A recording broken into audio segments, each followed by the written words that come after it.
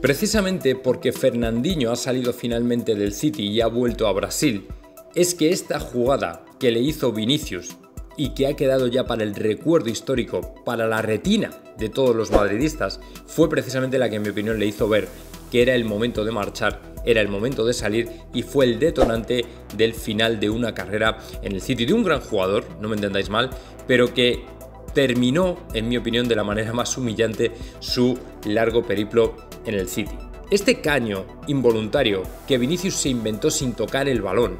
que le permitió doblar al jugador y además hacer gol. O sea, fue absolutamente brutal. Para nosotros ya quedó precisamente en la retina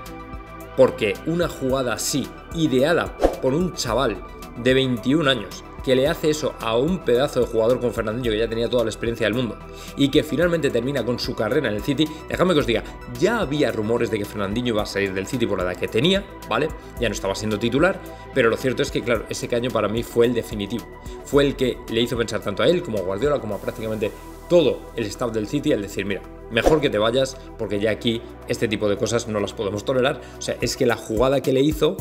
fue absolutamente brutal y fue en mi opinión la que al final no le permitió a Fernandillo volver a levantar la cabeza en el City y la que en mi opinión le hizo replantearse su futuro y la que al final ha terminado dando con él en su vuelta a Brasil. Así que obviamente le deseamos lo mejor, pero por lo menos que sepáis para los madridistas que fue esta jugada la que desde luego marcó un antes y un después en su salida final del City.